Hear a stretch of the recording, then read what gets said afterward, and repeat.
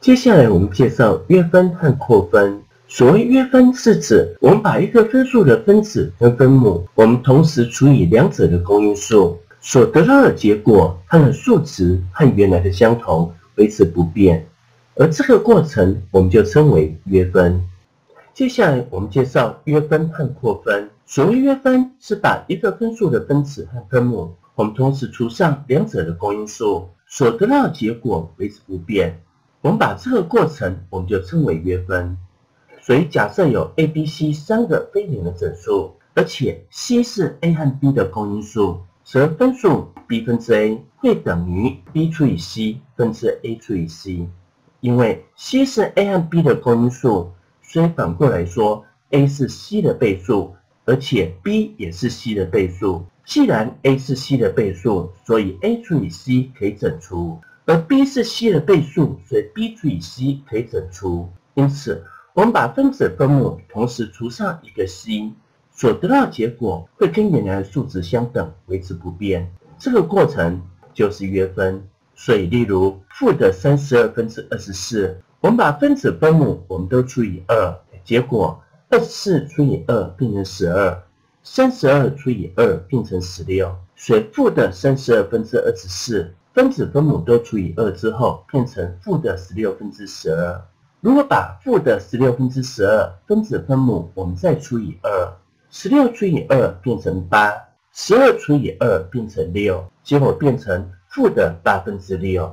而负的八分之六，把分子分母我们再除以二，这时候六除以二变成三，而八除以二变成四，结果变成了负的四分之三。所以在化简的过程当中。负的三十二分之二十四和负的十六分之十二，以及负的八分之六，还有负的四分之三，这些分数它们的数值都是相同的。像这几个分数里面，我们把分子分母同时除上一个整数，所得到的分子跟分母它的数值变小了，可是整个分数的值仍然维持相同不变的，这个就是约分的结果。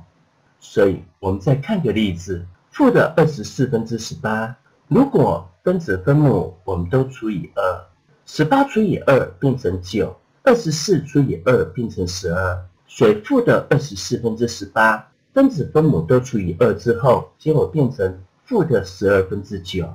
而把负的十二分之九分子分母我们再除以三，九除以三变成三，十二除以三变成四，因此负的十二分之九。分子分母都除以三之后，分数我们化简成负的四分之三，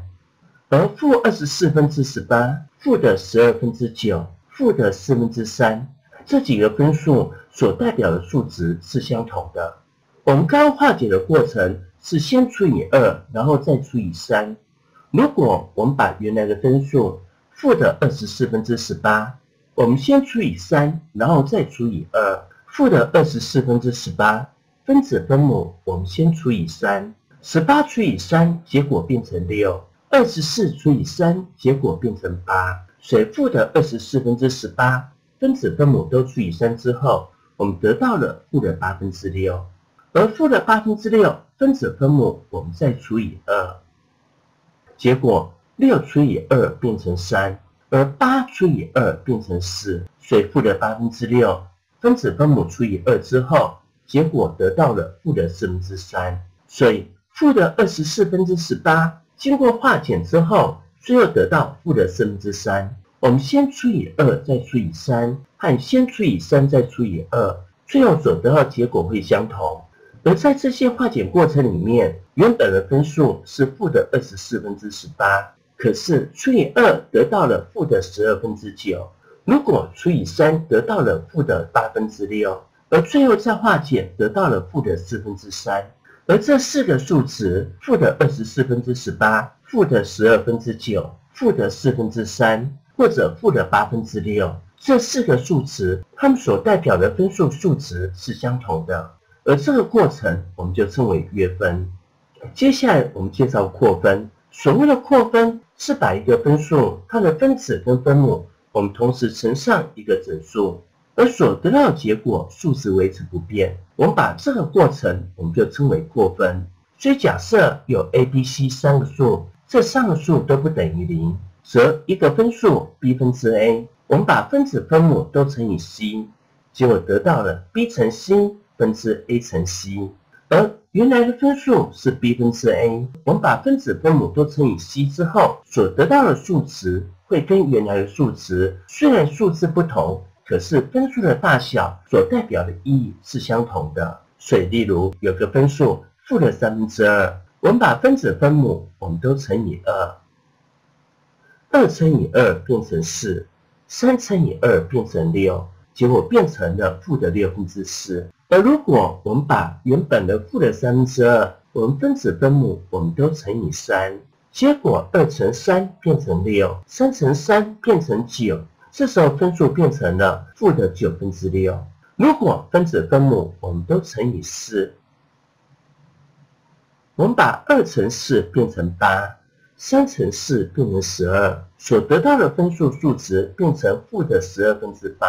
虽然我们把分子分母我们乘上不同的数字，所得到的分数分子跟分母数值不同，可是这几个分数在数值上的意义它们是相同的。所以负的三分之二会等于负的六分之四，会等于负的九分之六，会等于负的十二分之八。分子分母虽然数字变大了，可是和原本的数值意义上是相同的。所以我们再举个例子。负的五分之三分子分母，我们乘以二，结果三乘二变成六，五乘二变成十，这时候分数变成了负的十分之六。而如果把分子分母我们都乘以三，三乘三变成九，五乘三变成十五，所以原本是负的五分之三，分子分母都乘三之后变成负的十五分之九。如果我们把原来的分数我们都乘上四。三乘四等于十二，五乘四等于二十。这时候负的五分之三，结果变成了负的二十分之十二。而这几个数值，负的五分之三、负的十分之六、负的十五分之九、负的二十分之十二，虽然分子分母数字变大，可是所代表的数值和原来的负五分之三意义上是相同的。像这种把分子分母数字变大，这个过程就是扩分。所以，我们再看个例子：负的七分之四分子分母，我们都乘以二，四乘二变成八，七乘二变成十四。所以，负的七分之四乘以二之后，变成负的十四分之八。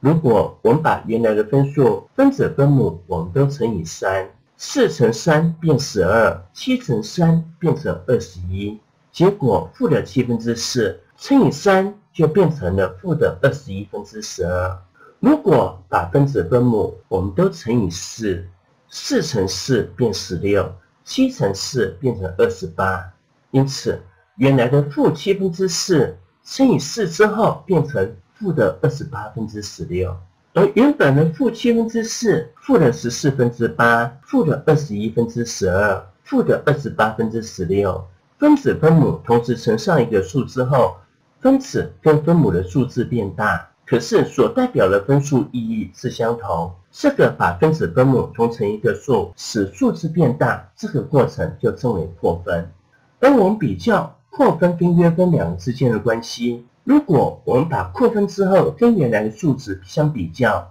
我们发现，如果我们比较约分和扩分，我们发现。两者在过程上可以视为是逆运算。扩分是分子分母同时乘上一个数，可是约分是把分子分母同时除上一个数。所以负三分之二扩分之后变成负六分之四，变成负九分之六，变成负的十二分之八。而反过来，负的十二分之八分子分母都除以四，结果变成负的三分之二。负的九分之六。分子分母都除以三，结果变成负的三分之二。负的六分之四，分子分母都除以二，结果变成负的三分之二。所以这四个分数从左向右，这个过程是扩分。可是我们把这四个分数从右向左，这个过程的运算，我们则称为约分。所以我们可以说，扩分和约分这两个过程是相反的运算。这是有关于约分和扩分的介绍。